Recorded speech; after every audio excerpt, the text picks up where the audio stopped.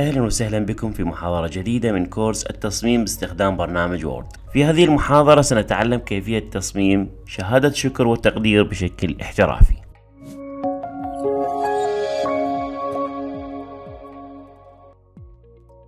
أهلا بكم من جديد. في البداية راح نغير اتجاه الورقة إلى أفقي من خلال تخطيط قائمة تخطيط ومن ثم الاتجاه ثم نختار أفقي. أيضا نتأكد من الحجم A4 من الحجم ونتأكد أن الحجم A4 الخطوة التالية راح نضيف ال background الخاص بالشهادة.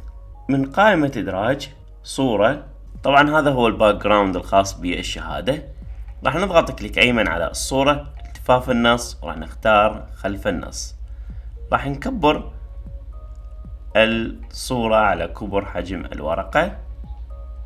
بهذه الطريقة طبعا جيد الآن. الآن راح نضيف آه، المخطوطة الخاصة بالشكر والتقدير بهذه المنطقة من خلال إدراج صورة وراح نختار شكر وتقدير.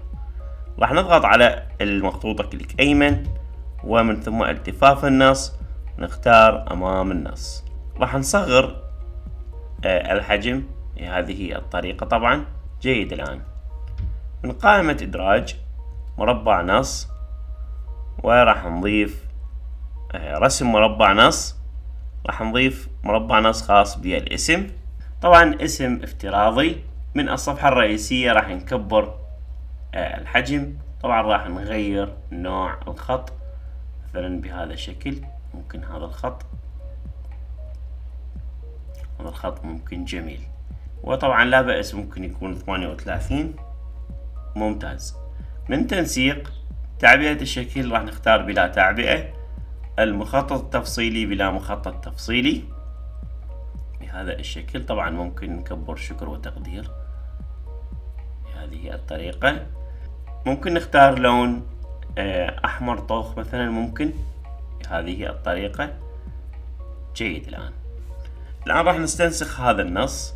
هذا النص اللي بالأسفل راح نغير الحجم.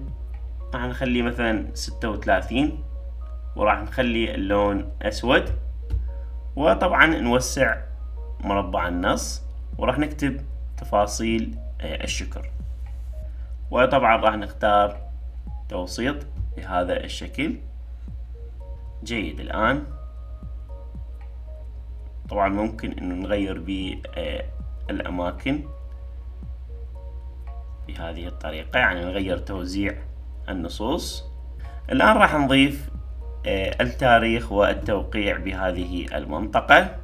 راح نستنسخ هذا النص طبعا من خلال نضغط على كنترول ونسحب. طبعا راح نصغر النص. ممكن يكون عشرين وطبعا أسود. ممكن يكون توسيط. طبعا راح نصغر مربع النص بهذا الشكل. وطبعا راح ننزل.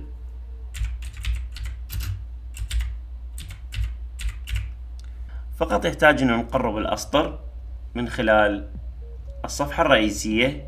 نضغط على هذا الخيار اللي هو تباعد الاسطر خيارات تباعد الاسطر وطبعا راح نختار صفر بوينت تسعة مثلا.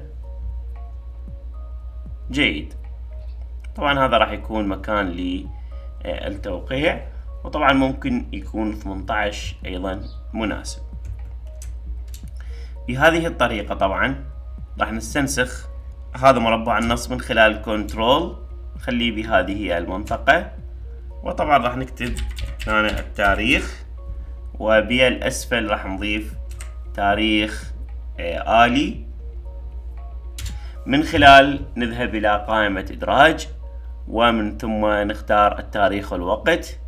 وطبعا نختار تحديث تلقائي وموافق.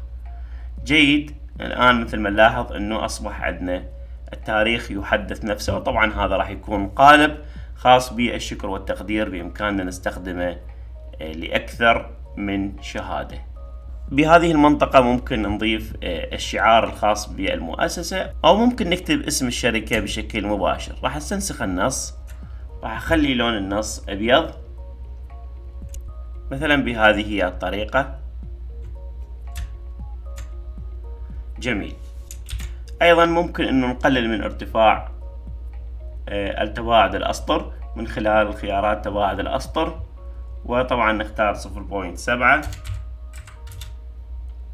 جيد الآن. ممكن نمد كلمة الرونق. مثل ما نلاحظ التصميم جميل وبسيط بنفس الوقت.